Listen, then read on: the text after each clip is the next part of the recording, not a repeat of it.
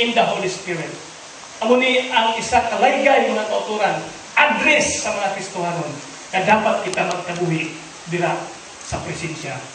Nga kontrol sa balang espiritu nga mo karon ang nagahari sa aton nga kinabuhi. Mga kauturan,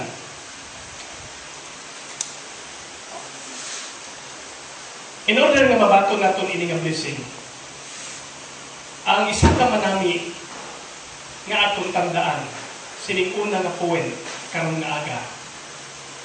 Tandaan naton kag aton nga sundon ini isa ka manami nga laygay. Magkinabuhi kita sa bag-o nga kabuhi. Hindi naton tugutan nga patumanon sa gihapon naton ang pagkinabuhi nga hindi na control sa Holy Spirit, kundi yung control sa, sa atong sinful nature. Amo na putol ang aton nga in order na mabato naton ini nga mga blessing. Ikaduha, isa hindi ka manami nga laygay, tungod kay diri naton makilalaan ang laygay mga kauturan nga dapat naton iwasan or makasiling kita nga dapat naton likawan.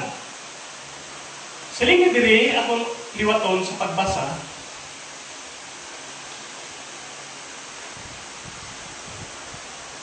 So I advise you to live according to your new life in the Holy Spirit. Then you will be doing what your sinful nature craves. Likawan naton silinga diri ang pagkinabuhi sa atong tawhanon nga makasasala nga kinaiya. Hindi na ini applicable sa life naton ng mga Kristohanon. Parehas sa una ba? Nga,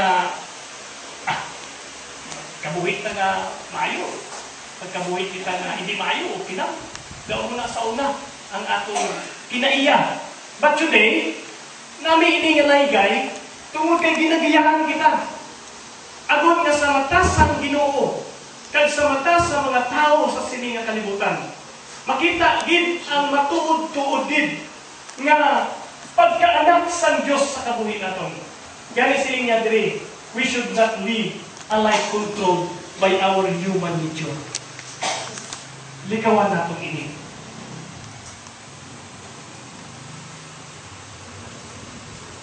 Makita naton diri ang uh, para mabalaan naton. Lagtawon naton diri ang uh, isa ka kabuhi nga ginkontrolar sang tawhanon nga mga kinaiyahan o kon ining sinful nature. Ano bala ini? Kalimutot address ang inyo Bible sa Romans. Tanaw naton ini. Sa Romans chapter 8, di lang ka magharinda.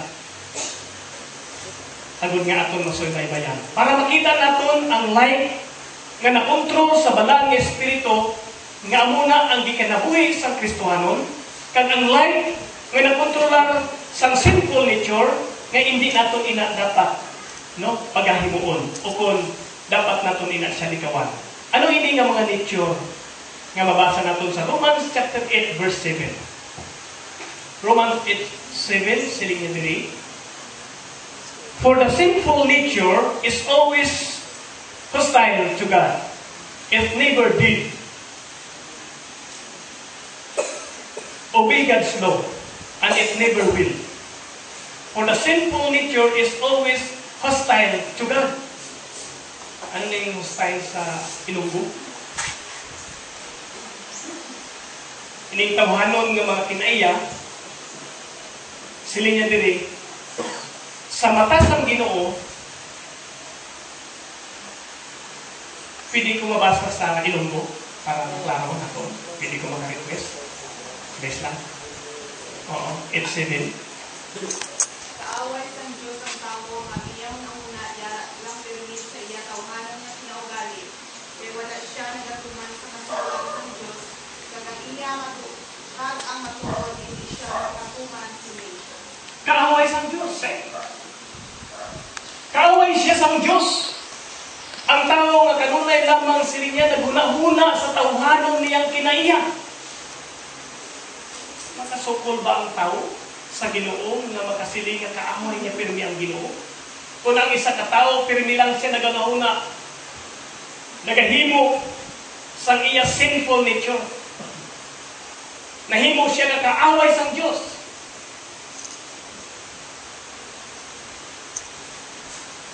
Kag sila niya diri tungod kay siya Nagunang-una lamang kanunay sang tawhanon o kung makasasala nga kinaiya, sila niya indigid siya makasunod no, sa mando sang Ginoo.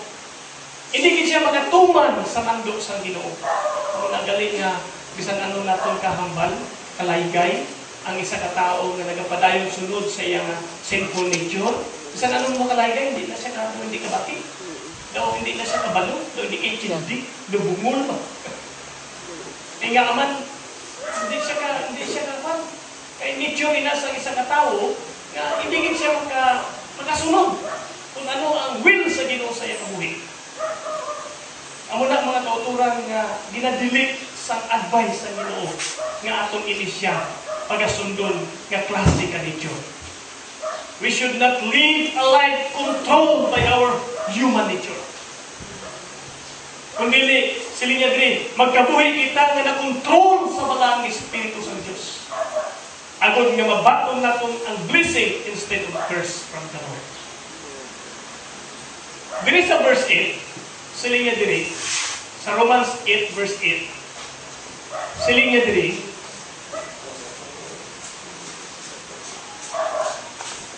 That's why those who are still under the control of their sinful nature can never please God. Hindi gid siya kahimutan sa Ginoo. Why did malipay ang Ginoo sa pagtulog sa ina pabuhi? Amo na nga kung makita namin do pinabayan sila sa Ginoo. Kaya ang Ginoo daw hindi katulog sa pagsubaybay sa iya dautan nga pagkabuhi. Gani ang muni ang isa kalaygay mga kauturan nga ginapaabot sa Dios sa iyang mga anak.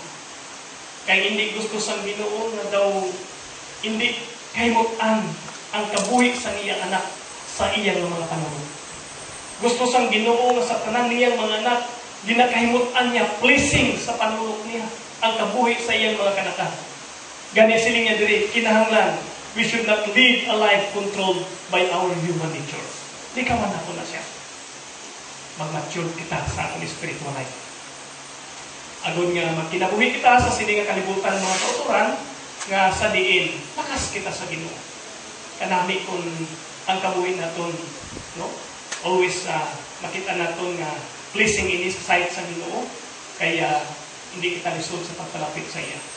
Kung kita magpalapit, kung magapangayo sa isang kabutang sa iya, hindi lisod ang Ginoo magkasapat sa akong pangabuyo, pangabuyo sa iya. Sa mga butang na pangayoon sa iya. Kaya nga ang life nato in His sight. Pero kung ang kabuhi sa isa ka tao, kaya bilang sila niya diri, nagkinabuhi sa iya sinful nature, ay ang bot na lang sila niya diri sa iya nga pulong. Why did, why did na himuot ang ginoo sa iya kabuhi? Daw dunot, dunot ang panulok sa ginoo sa iya kabuhi. Daw it pulos, daw pinabayan. Kaya nga man, hindi niya kabubuton sa kinabuhi sa isang katao, nga magkinabuhi sa sinful nature. Ano lang ating ang ginoo. Manamit pagid siling niya diri sa Romans 8.9. Ano ang siling niya diri? Um,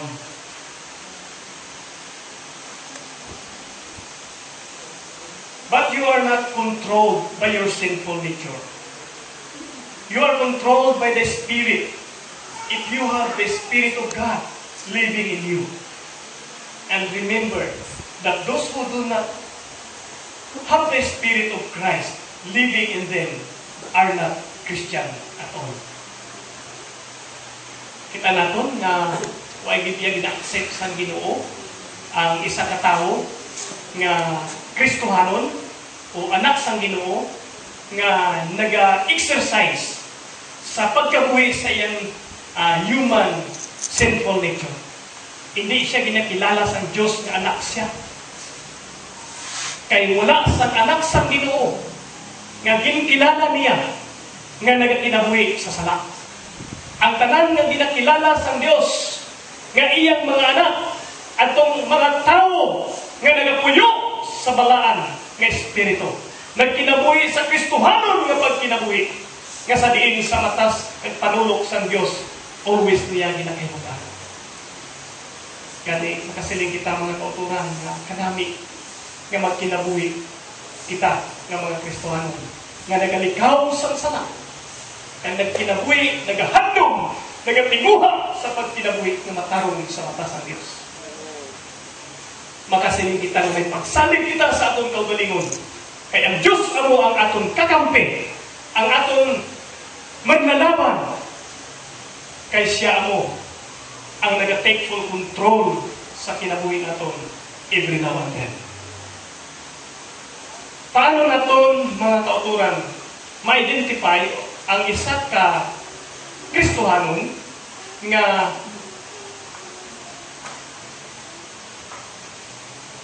nagapuyo o kung na-control sa Holy Spirit. Paano naton siya makilalaan? Uh, Dr. Siri. Paano naton siya ma-identify, makilala nga siya nagapuyo dira sa Kristohanon nga pagkinabuhi. Ang Galatians chapter 5, balik ko naton ah, sa katapusan. Ang Galatians chapter 5, verse 19 to 21. Na unang sins.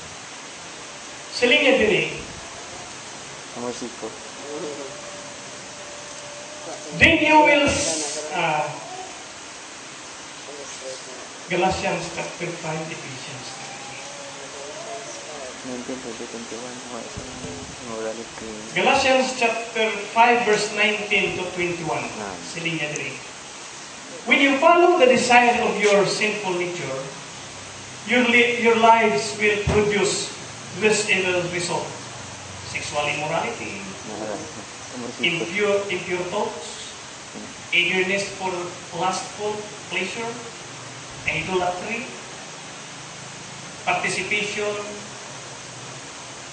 in demonic activity, Hmm. hostility, quarreling, jealousy,